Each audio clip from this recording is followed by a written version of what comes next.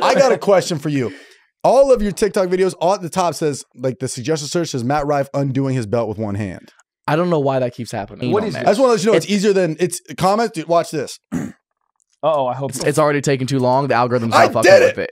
Is Also, anybody on. Do you have a clip belt? yeah. What Dude, was it's like that? Velcro. It's like Velcro shoes. All your trending videos from now on are gonna say Trevor I puts his belt back Puts on. Puts his Velcro belt on. I did it, and nobody came rushing in the room, dude. If you well, did you it took- right you now, stuttered with it like that. You you